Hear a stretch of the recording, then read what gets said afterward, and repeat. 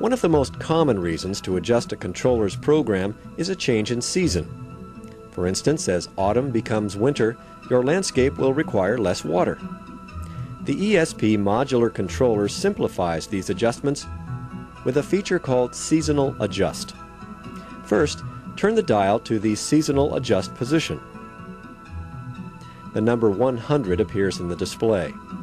This means that all stations will water for 100% of their programmed watering times.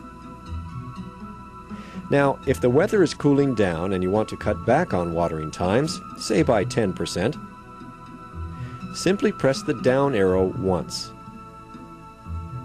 The watering times on all stations move from 100% down to 90%. This 10% reduction means a 10-minute station will now run for 9 minutes. A 20-minute station runs for 18 minutes, and so on.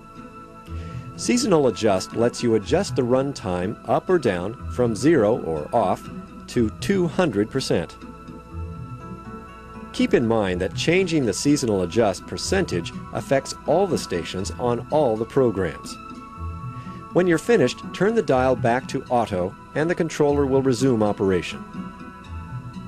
Seasonal Adjust is now displayed to indicate your ESP modular controller has been adjusted to a seasonal adjust setting other than 100%.